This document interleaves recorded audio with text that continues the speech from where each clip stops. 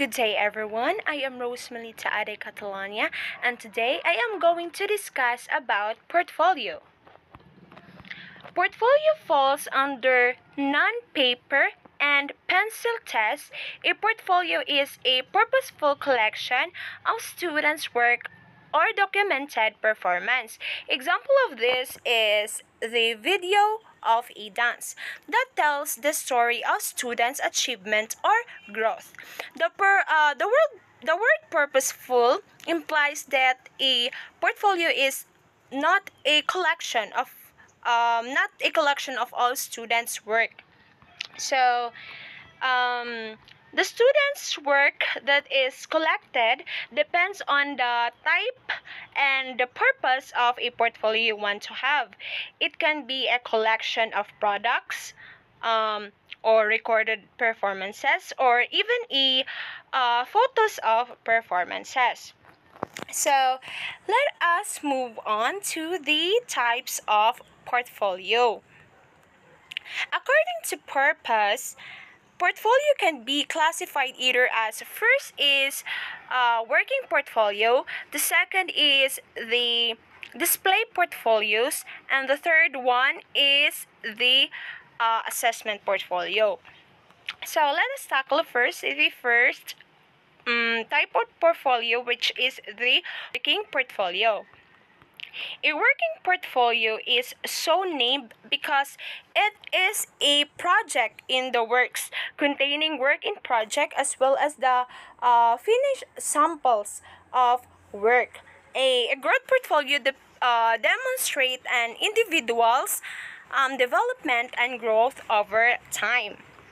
So, development can be focused on academic or thinking skills uh, content knowledge, self knowledge, or any area that is important for your purposes. For this reason, it is also called development per uh, portfolio. So, um, working portfolio is also called as a development portfolio. So, growth or development portfolio or working portfolio can serve as a holding tank for work that may be selected later more uh, later for a more permanent assessment or display portfolio. So let us move on to the second type of portfolio which is the display portfolio. Um, the display portfolio is a it is the display of students' best work. Students exhibit their work and interpret its meaning. Showcase portfolio demonstrate the highest level achievements attained by the uh, students. So, um, for example of this is in our senior high years, we have there in an exhibit of our portfolios in our immersion.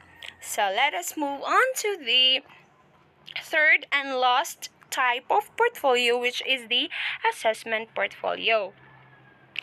Um, the main function of an assessment portfolio is to document what a student has learned um, based on standards and competencies expected of curriculum. Then will determine what students select of uh, for their portfolios. Um, their reflective comments will focus on the extent to which they believe the portfolio entries demonstrate their mastery of the standards and the competencies. So I have here an examples of um, portfolios. First is the project portfolio. Focus on the work from an individual project.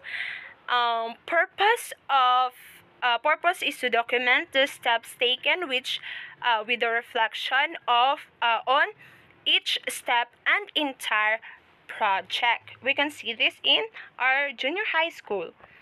So let us um, Move on to the second example, which is the growth portfolio.